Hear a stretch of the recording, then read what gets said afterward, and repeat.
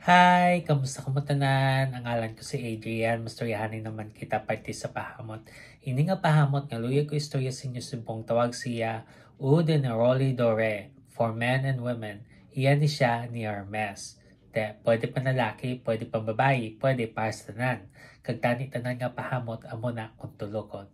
Te, ano ni siya klase nga pahamot? Bali, tab is kagpait nga citrus na amo na siya konsimutan. Angay siya sa mainit nga panahon, ang temperatura nga para siya is between 80 to 100 degrees Fahrenheit o kung 27 to 38 degrees Celsius. Te, ano ang iyang mga nota? For the top, we have bitter orange na masimutan mo dayon ang pait nga citrus nga hamot.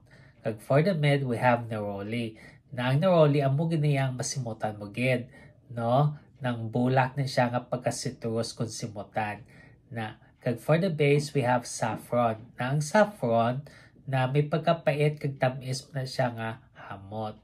Na, te, kabay pa nga namian ka mo nga pahamot. Kag kung may iba pa ka mga mga pahamot nga luyag istorya sa akon, ibilin lang sa comment section. Te, sa dason naman, bye-bye.